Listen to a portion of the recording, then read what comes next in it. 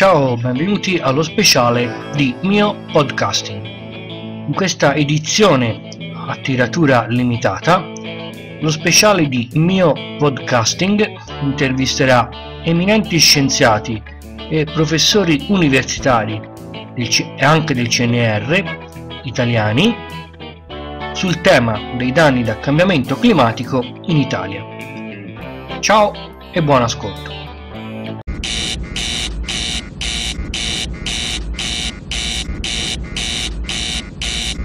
Bene, allora buongiorno a tutti, eh, grazie agli organizzatori eh, per eh, avermi invitato e grazie anche per aver organizzato una iniziativa molto interessante come questa.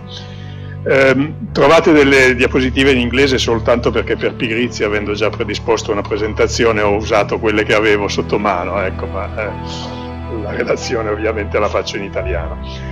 Allora, eh, l'argomento eh, è un po', visto così, è un po' ostico. Di solito quando si parla dei problemi di sostenibilità si mette l'accento sulla, certamente la finitezza del mondo in cui viviamo e sulla limitatezza delle risorse, per cui il tema più immediato diventa quello del progressivo esaurimento delle risorse naturali con annessi e connessi.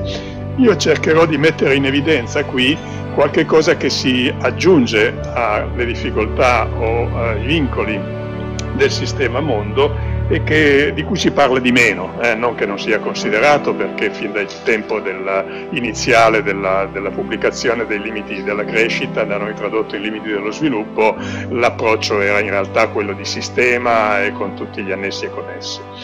Allora, eh, noi abbiamo a che fare con dei sistemi, cioè insiemi di elementi tra loro interconnessi e partiamo col constatare che il pianeta su cui viviamo è un sistema materiale interconnesso che è governato da leggi che sono non discusse dai, dai, parlamenti, non sensibili ai punti di vista degli economisti, del tutto indifferenti ai commentatori dei giornali e le quali sono eh, leggi di conservazione, energia e materia non si creano e non si distruggono, e di trasformazione, al massimo si trasformano. Quando si tratta di trasformazioni c'è un'antipaticissima legge fisica che si chiama secondo principio della termodinamica, che ci dice che se anche siamo bravissimi, anche abbiamo eh, delle tecnologie le migliori possibili teoricamente, siamo costretti, quando usiamo dell'energia per ricavare un lavoro, a buttarne via un po',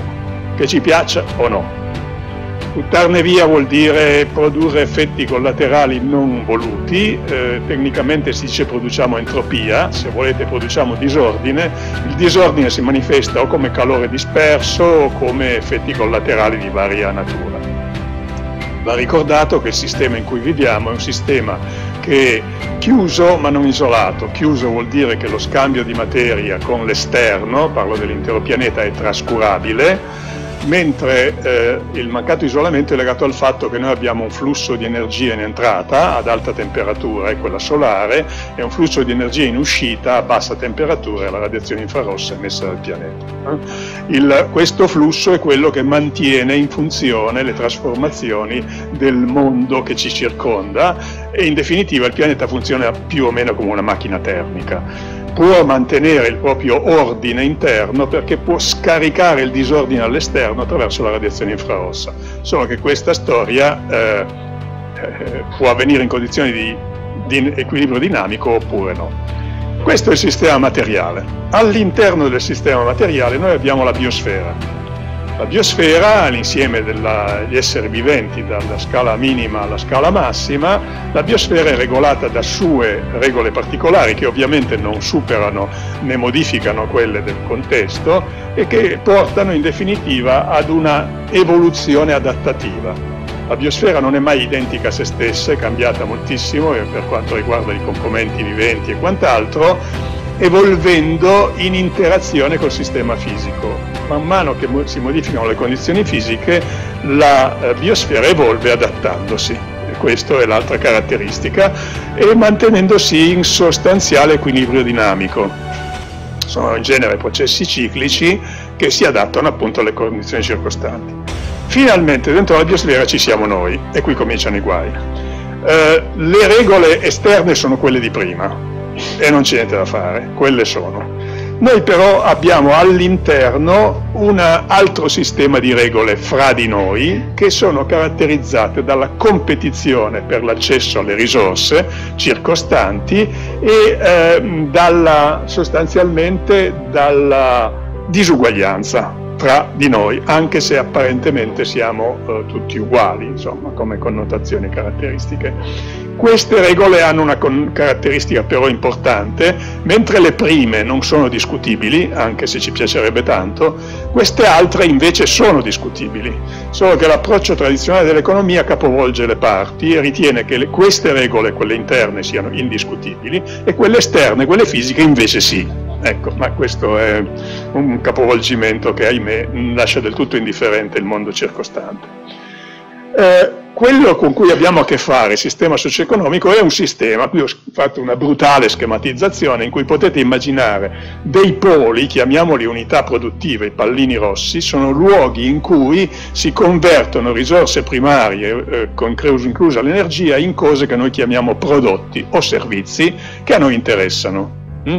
Quindi ci sono di mezzo dei processi fisici, eh, preleviamo risorse dall'ambiente e poi c'è un utilizzo per, di, queste, di, queste, cose che noi produciamo. Unità produttive può voler dire una fabbrica, può voler dire un ufficio in cui produco idee oppure una, so, un luogo in cui do mh, mm, lezioni di violino, che è un servizio che interessa.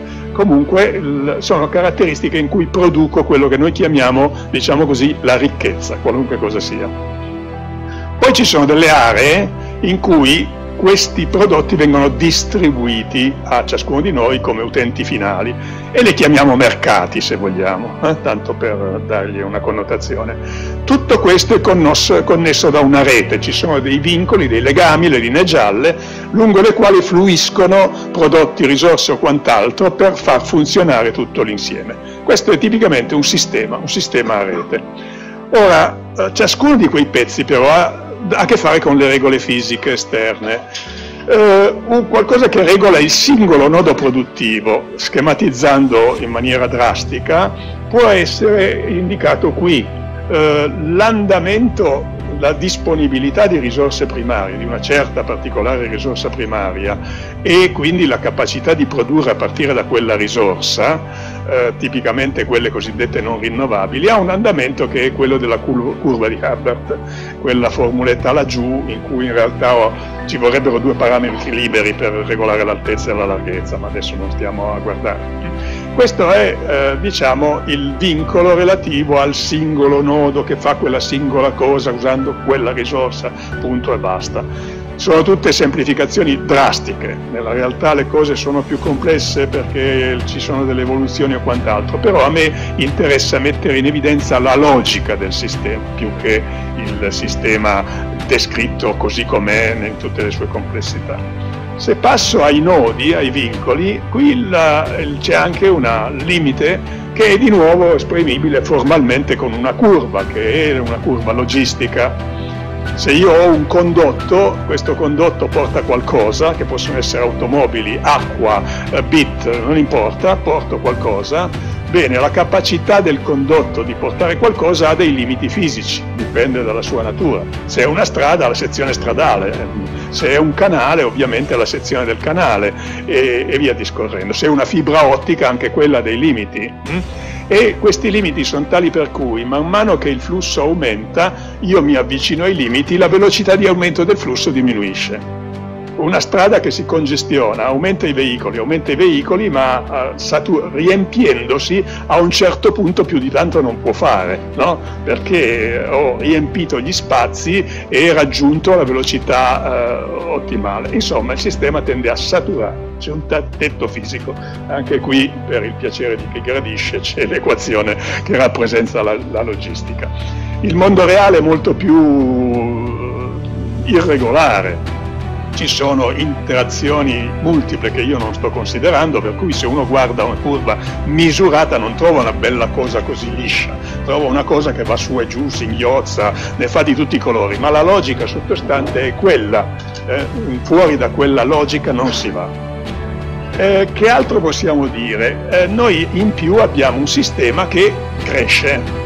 Il meccanismo, i presupposti di cui parlerò dopo spingono questo sistema non ad assestarsi evolutivamente come nei sistemi biologici, ma a crescere.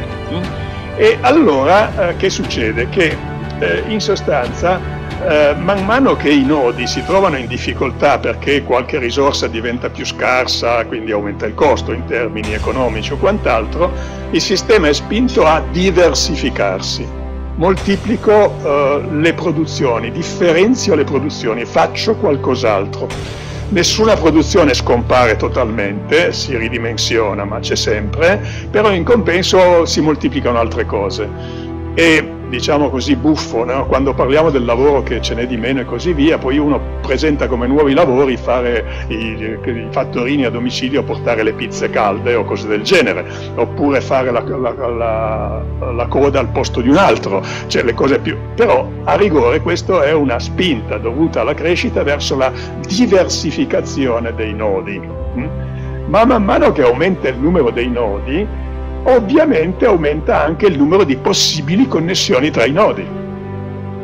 E ciò che è possibile in un sistema spinto alla crescita diventa reale prima o poi, cioè ciò che è un canale possibile viene anche eh, trasformato in un canale reale lungo cui viaggia qualcosa. Mm? Qualcosa può essere informazione o possono essere tonnellate, è comunque qualcosa e qualunque cosa viaggi ha sempre una base fisica, no? non metafisica, mm? quindi è sempre soggetto a certi vincoli e così via. Ora, eh, il, mm, la, la, saturazione poi dei, dei singoli canali induce una spinta anche a parità di nodi a moltiplicare il numero dei canali. C'è una strada, la strada tende a saturarsi, facciamo anche una ferrovia, no? in passato facciamo anche la ferrovia, però per vari motivi no, non va, facciamo un'autostrada, sempre tra i due estremi. Se i due estremi sono lontani, mettiamoci anche un collegamento aereo, eh, eh, mettiamoci una, una fibra ottica, una, usiamo la banda larga che altro sia. Quindi oltre a tutto quello che ho detto prima c'è una spinta continua ad aumentare il numero di eh, vincoli, di connessioni a parità di nodi, ma aumentando i nodi il numero di, di connessioni possibili aumenta. E come aumenta il numero di connessioni possibili? Partiamo da un nodo. Bene, un nodo non si connette a nulla, lì da solo. Eh, adesso mettiamone due di nodi. Ovviamente il legame minimo tra di loro è uno. Posso anche farne di più in parallelo, ma diciamo come minimo ce n'è uno. Se i nodi sono tre, il numero minimo di vincoli, di legami è tre. Se i nodi sono quattro, il numero di contateli diventa sei se i nodi sono 5, il numero di eh, possibili connessioni diventa 10. Per farla breve, i nodi sono la retta, aumentano e nel sistema economico nostro tutti vorrebbero che fosse un esponenziale in realtà, e il numero di connessioni è la curva e vedete impennarsi su, è più ripida. L'equazioncina è quella lì, in sostanza il numero minimo di connessioni tra i nodi cresce col quadrato del numero dei nodi, quindi più in fretta. Allora se noi consideriamo complessità, la definiamo come il numero di eh, legami, di connessioni possibili, non c'è una definizione unica e netta di quello che vuol dire complessità, questa è una versione sem semplice ma tutto sommato eh, sensata. Voi vedete che la complessità del sistema cresce più in fretta del sistema Okay? Adesso qual è il problema? Eh, facciamo un'altra considerazione. Questa storia del quadrato non, non si trova solo lì. Parliamo delle connessioni, canali, strade, fili, quello che volete voi. È abbastanza comune constatare che eh, le risorse necessarie per mantenere in circolo qualcosa tendono a crescere più rapidamente di quanto non cresca la, la, la, quantità che io voglio mantenere in movimento. Esempio più banale del mondo, un viaggio. Il parametro interessante è tempo di viaggio, voglio ridurlo. Ora il tempo di viaggio è proporzionale all'inverso della velocità del mezzo che trasporta quello che deve trasportare. L'energia cinetica del veicolo che però utilizzo cresce col quadrato della velocità. Questo vuol dire che la quantità di energia che ci devo mettere per ottenere un aumento della velocità oltre un certo limite cresce più in fretta della velocità stessa. Se raddoppio la velocità ci vuole, devo metterci dentro un'energia che è quattro volte tanto. Un altro risvolto è, lo riprenderò, che io posso avere un inconveniente, un incidente o qualche cosa. L'energia da dissipare nel momento in cui avviene uno scontro eh, cresce col quadrato della velocità. L'eventuale danno eh, cresce col quadrato della velocità eh, lo sforzo da fare per contenere il danno cresce col quadrato della velocità, quindi più velocemente. L'altro esempio banale è quello della corrente elettrica, no? la legge di Joule. Eh, se ho una corrente, la corrente è quello che mi interessa, però ho un effetto collaterale, il filo si scalda, a meno che si tratti di una stufa, diciamo, questo è un effetto che non vorrei perché mi porta via dell'energia, ma non posso farne a meno e l'effetto collaterale, legge di Joule, è quadratico, cresce col quadrato della corrente.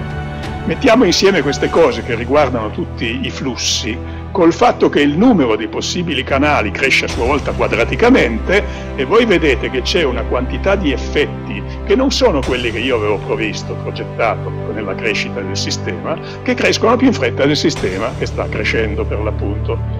Eh, questo è uno dei, degli aspetti che abbiamo. Eh, queste cose che sto dicendo si possono vedere dal punto di vista del controllo che è particolarmente visibile pensando oggi alle reti tipo internet, eh, telefonini, interconnessioni, social networks, posta elettronica e quant'altro. Un sistema a complessità crescente tende a perdere controllo, a mettere in difficoltà la possibilità di controllarlo. In una rete come quella, ogni nodo deve controllare, gestire, governare i flussi che fanno capo a quel nodo, in entrata ed in uscita. Governare e controllare vuol dire banalmente che ci deve essere un, un qualcosa, eh, un hub, un calcolatore, uno, un, un operatore umano che dedica del tempo a controllare sequenzialmente tutti i flussi che entrano e che escono. Se voi considerate le 24 ore, è chiaro che la, se aumenta il numero di connessioni, aumenta il tempo che è assorbito dal controllo delle connessioni stesse, tempo che viene sottratto all'esecuzione di altre funzioni. Pensate alla posta elettronica. Allora, eh, due secoli fa arrivava una lettera ogni mese e mezzo o due all'intellettuale di turno che si preoccupava di affrontarla, di, di leggerla, ci pensava e poi rispondeva. Mm? Eh, attualmente arrivano decine e decine di mail ogni giorno sul telefonino, una parte dei quali sono da buttare via altre no. E allora ciascuno di noi deve dedicare una parte del tempo a fare la, la scelta tra cosa buttare e cosa tenere e guardare se deve rispondere e quando deve rispondere. Voi adesso, anziché dedicare mezza giornata una volta ogni 15 giorni perché avete un forte rapporto di corrispondenza col mondo, dovete dedicare, fate voi il conto, ore, pensando ai ragazzi e ai social, ore della vostra giornata a tenere sotto controllo la rete di comunicazione. Mm? Tempo che non avete più per fare altro. Quindi il problema del controllo si pone e di nuovo l'impegno di risorse cresce più in fretta di quanto non cresca la rete come tale mm? e i vantaggi che essa può dare. Ora, eh, anche però la capacità di controllo si satura, il tempo che voi avete al giorno sono 24 ore. Un calcolatore stesso ha una sua caratteristica, un'unità centrale e deve fare una miriade di processi che sono calcolati in milioni eh, di processi, dipende da come è fatta l'unità centrale, e comunque fisicamente tende a saturare se il sistema aumenta. E la saturazione che cosa vuol dire eh, con il tempo e con tutto il resto? Che la, la, rete deve in qualche modo adattarsi se vogliamo tenerla sotto controllo. La prima cosa che succede è che la rete tende a gerarchizzarsi. Specializzo le funzioni, cioè non cerco di governare tutto, all'inizio dal centro cerco di governare tutte le connessioni. Poi non ce la faccio più, allora speciali- mi, mi, divido, faccio più nodi, ad alcuni affido la gestione di alcune attività, quelle, e sopra ho un'altra unità che gestisce le unità che gestiscono la rete dettagliata. No? Quindi tendo a gerarchizzare, suddividere, specializzare la rete stessa. Io ho fatto l'esempio qui legato molto all'informatica, ma in realtà funziona con i trasporti, questo ragionamento un po' con tutto funziona. Ho bisogno di cercare. Però a furia di fare ciascun nodo satura, eccetera, e tutto sommato la domanda di controllo cresce più in fretta di quanto non sia la possibilità di avere il controllo, il sistema perde il controllo. Allora la gerarchizzazione, perdendo il controllo, si trasforma in un'altra cosa, nella decomposizione del sistema. Il sistema diventa ingovernabile, le singole unità si muovono in modo caotico o anarchico.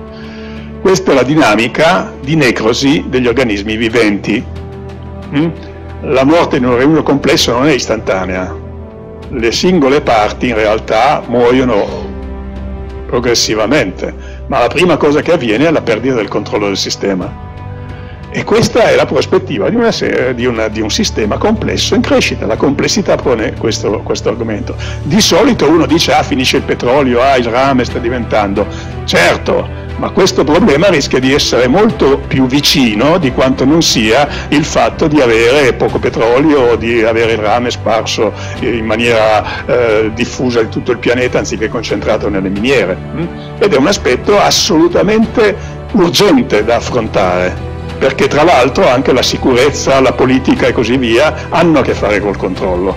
Le grandi potenze controllano il mondo, ma mica tanto vero, oltre un certo punto non lo controlli più.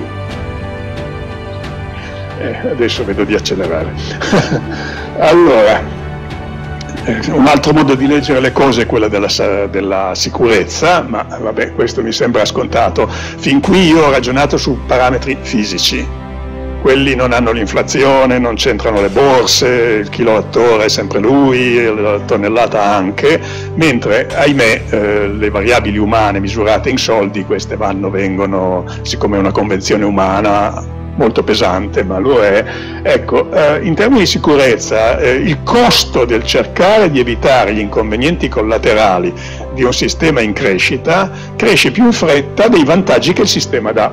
Mm? E quindi eh, se vogliamo mantenere i rischi, il possibile danno, sotto una soglia accettabile e il sistema in crescita, noi dobbiamo convogliare nella prevenzione del rischio una quantità crescente di risorse che sono quelle che noi stessi produciamo, che il sistema produce, sottraendole ovviamente ad altri impieghi che sono quelli che ci interesserebbero di più. Ora, eh, questo, eh, l'andamento più o meno è questo eh, siccome non si può ridurre a zero la probabilità di incidente in qualunque macchina, o non la uso o se la uso c'è la probabilità che si guasti, mettiamola così, c'è un limite inferiore, io posso ridurre il rischio e la probabilità di incidente migliorando le tecnologie, riorganizzando il sistema di controllo e quant'altro. Questo costa. All'inizio l'effetto per unità di costo è molto buono, ma quando diciamo sono già più vicino al limite asintotico, a parità di costo l'effetto che ricavo è sempre minore. Se vogliamo, per ottenere un miglioramento ulteriore, io devo spendere una quantità di soldi che a un certo punto diverge tende addirittura ad infinito se volessi arrivare uh, a, ad avvicinarmi alla, all'asintoto. Questo è un problema uh, mica da poco, ovviamente, perché il sistema diventa ingovernabile e insicuro, perché più di tanto non posso fare, ma nello stesso tempo mi porta via una quantità delle stesse ricchezze che io sto producendo col sistema che in teoria è quello che mi fa ricco eh, eh, sviluppandosi. Eh, il risultato è questo, economia tradizionale, curva nera, espon- eh, crescita esponenziale, tot per cento all'anno e viva, siamo tutti più ricchi. Curva rossa, costi annessi, quelli che ho detto prima. All'inizio sono una frazione ridotta del totale, ma il guaio è che crescono più in fretta quindi a lungo andare le due curve si incrociano, cioè tutto quello che io produco viene destinato a cercare di far funzionare il sistema. La differenza è quella curva lì, che avrete già visto altre volte in giro, cioè per un po' i vantaggi aumentano e poi, ahimè, crollano. Tra l'altro non è simmetrica, appunto si va su pian pianino e poi si casca giù e ci si fa molto male. Ed è il problema che noi abbiamo adesso di fronte. Ultimo tema, vedo di cavarla ancora rapidamente, in questo sistema c'è la storia delle disuguaglianze. Di nuovo, io non voglio entrare nel merito etico delle disuguaglianze, ma cercare di capire se c'è una logica per cui siano una conseguenza necessaria di determinati me- meccanismi. Disuguaglianze, a destra voi vedete la famosa coppa di champagne, il 20% dell'umanità ha l'80% delle risorse e il 20% più basso ha l'1,4% delle risorse, ma se uno va a guardare nella coppa, il 20% che ha l'80% delle risorse, non è che funziona così, perché all'interno dei paesi più ricchi la distribuzione è disuguale.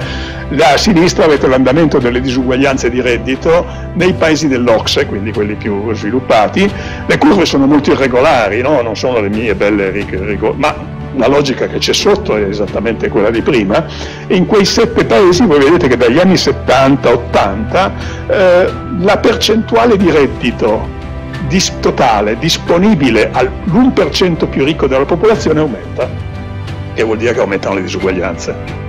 Allora, è una questione del colpa del destino cinico e baro eh, oppure dell'avidità individuale di qualcuno o c'è un meccanismo sottostante? E c'è un meccanismo eh, noi abbiamo dei presupposti nella crescita. Questi presupposti sono siamo egoisti e fin lì non è difficile constatare che è vero, no? però eh, siamo egoisti, ma anche se razionalmente lo vediamo, l'assunto è, è impossibile modificare la situazione e questo è un assunto a priori. Hm? Dopodiché eh, eh, viene aggiunto, è stato aggiunto a suo tempo, che l'egoismo è positivo, perché se ognuno si dà da fare per ottimizzare il suo ritorno, fa anche l'interesse globale, cioè il vantaggio collettivo è migliorato dal fatto che ciascuno ottimizzi il vantaggio individuale. Questo è un assunto. L'assunto connesso a questo è che il motore del progresso è la competizione. Ora, se io assumo questo e lo metto in un contesto che è finito, ahimè, quando questi assiomi sono stati posti si pensava a un mondo infinito, ma non lo è, allora succedono i guai, no? Eh, che succede? Che, eh, allora, di nuovo l'esempietto, uno, un, un singolo soggetto è in un ambiente finito e converte risorse primarie in cose utili. La sequoia gigante. Basta un albero normale, ma la sequoia gigante fa più effetto. Questa, eh, la pianta cosa fa? Cresce sempre. La crescita si interrompe solo per eventi accidentali, fulmine, l'incendio, la valanga, l'uomo che lo taglia, cose del genere, se no cresce sempre. Ma c'è un dettaglio, cresce sempre più lentamente, perché c'è un andamento asintotico. Di nuovo la logistica che abbiamo già visto. Uno, ma io ho due contendenti, tutti e due che cercano di fare la stessa cosa con le stesse risorse. Uno parte più in basso e uno più in alto per motivi occidentali. Il risultato è quello che il primo cerca di seguire la sua brava logistica, il secondo anche lui ci tenterebbe, ma deve fare i conti con quello che è già stato appropriato dal primo contendente. E la curva che viene fuori è quella che vedete sotto. Cioè per un po' va su, comunque la differenza aumenta, ma poi a un certo punto, mentre l'altro va su, lui va giù. E questo è esattamente quello che succede quando guardo le statistiche mondiali. E quello che io voglio sottolineare, le curve non sono così lineari, abbiamo visto e così via, è che questa è la logica conseguente a quei presupposti. Se io voglio curare questa cosa che ritengo essere una malattia, devo cambiare i presupposti, perché la macchina funziona così, che ci piaccia o no. Eh, vabbè, le equazioni lasciamo stare. Eh, e quindi in definitiva dobbiamo rimuovere qualcuno dei presupposti. O accettiamo che, e io sono, penso che sia così, spiegandoci e parlandone possiamo anche capire che conviene ridimensionare l'egoismo individuale anziché esaltarlo e quindi è possibile non competere ma integrare capacità diverse o se no le conseguenze sono quelle che abbiamo visto prima. Naturalmente in tutto questo, ultima battuta, attenzione al ruolo della tecnologia, che viene interpretata da chi continua a, esaltare il modello della crescita come salvifica. È un'idea magica della scienza, la, la scienza ci salverà. E in genere affermato da chi scienza ne conosce poca. Eh? La scienza è quella che dice quello che ho cercato di dire io, cioè quali sono i vincoli e le regole del gioco. O cambio le regole del gioco e sono io che le ho definite, o la scienza mi dice che vado a schiantarmi. Dopodiché le tecnologie mi aiutano perché per mitigare gli effetti e tutto il resto sono fondamentali. Mi aiutano per eh, ridimensionare i sintomi della malattia, ma la malattia devo rimuoverla io, ah, a monte.